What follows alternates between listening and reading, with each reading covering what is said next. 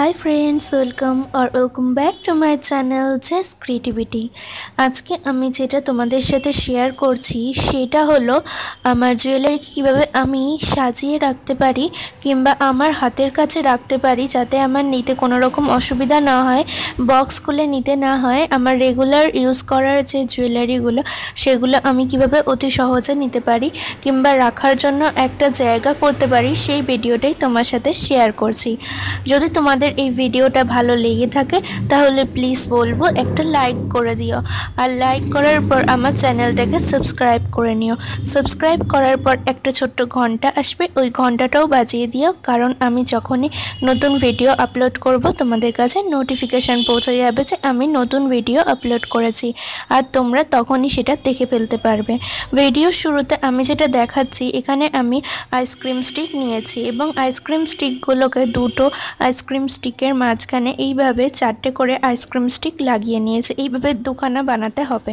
দুখানা বানানোর পর আমি ফেব্রিক কালারের যে কালারটা ইউজ করছি সেটা হলো রোজ পিঙ্ক কালার এইভাবে রোজ পিঙ্ক কালার দিয়ে আমি পুরোটা করে নিচ্ছি। আর পাশে যে পম্পমগুলো রাখা আছে, সেগুলো আমার চ্যানেলে আগেই দেওয়া আছে কীভাবে পম্পম তৈরি করতে হয়। সেই ভিডিওটা তোমরা চাইলে আমার চ্যানেলে গিয়ে দেখে নিতে পারো। এইভাবে এটা তৈরি করার পর আঠা দিয়ে পম্পমগুলো চারিদিকে লাগিয়ে নিতে পারো। তোমরা চাইলে অন্য যে কোনো কালারের পম্পম ইউজ করতে পারো। আমার কাছে এখানে ব্ল্যাকটা ছিল, তাই আমি ব্ল্যাকটাই ইউজ করছি। এরপর দেখো, আমি যে রোজটা নিয়েছি, এটা একটা পেপারের তৈরি করা রোজ এবং এই রোজটা কীভাবে তৈরি করতে হয় সেটা আমি আমার চ্যানেলে আগে শেয়ার করেছি। তোমরা চাইলে এই ভিডিওটাও দেখতে পারো। এইভাবে রোজ এবং পম্পম দিয়ে এটাকে তোমরা সাজিয়ে নিতে পারো।